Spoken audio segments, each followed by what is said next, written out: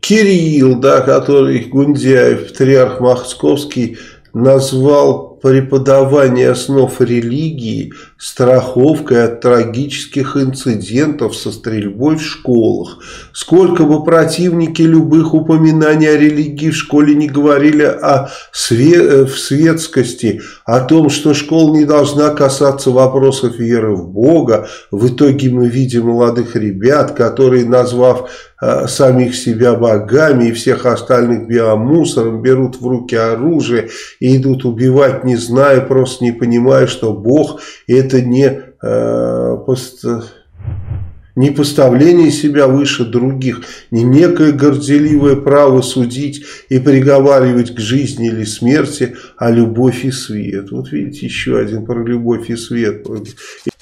И заявил вот э, Кирилл, интернет предоставляет доступ к совершенно разным источникам, в том числе очень опасным.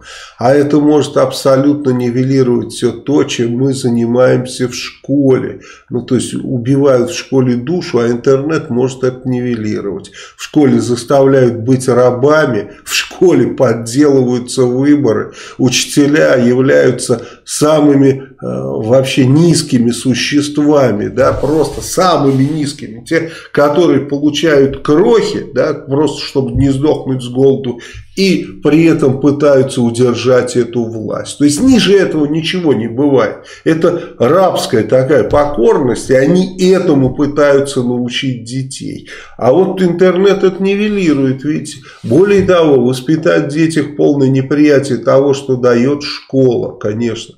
А что дает школа-то, Гундяев? Назови, что дала школа-то, вот эта вот путинская нынешняя. Образование она дает, это образование, это херня на постном масле. Что она дает? Патриотизм дает, любовь к Путину.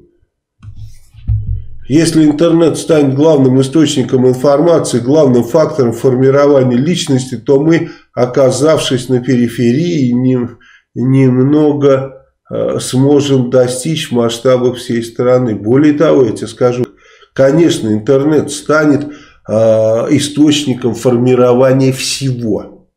И морали, и культуры, и всего. А вы на своей сраной периферии блядь, останетесь с хреном. Потому что и, и еще интернет будет формировать богатство. Да? И вы, и вы со своими этими делами да, в рясах блядь, останетесь выброшенными за борт. Просто.